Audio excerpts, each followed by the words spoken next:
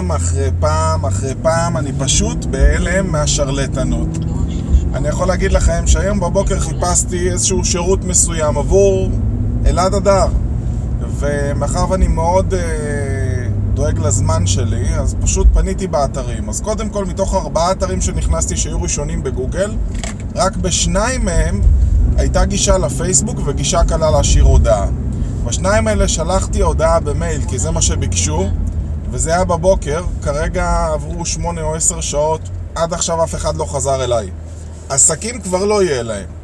השני האחרים, פניתי אליהם בפייסבוק, ואחד חזר אליי, נתן לי את הפרטים, והשני הפנה אותי לדבר עם מישהו בטלפון. אמרתי לו, לא, אני מעוניין לדבר עם... אה, לקבל פרטים פה, וכתבתי להם בדיוק מה אני רוצה לדעת.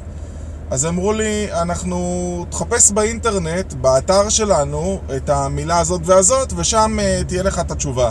ואפילו לא טרחו לשלוח לי קישור לאותו אתר, זאת אומרת, אני יכול לחפש ולהגיע למתחרים שלהם, או ללכת לאיבוד באתר שלהם. חברים, תפסיקו להתלונן שהשיווק לא עובד, אתם פשוט עושים את זה גרוע.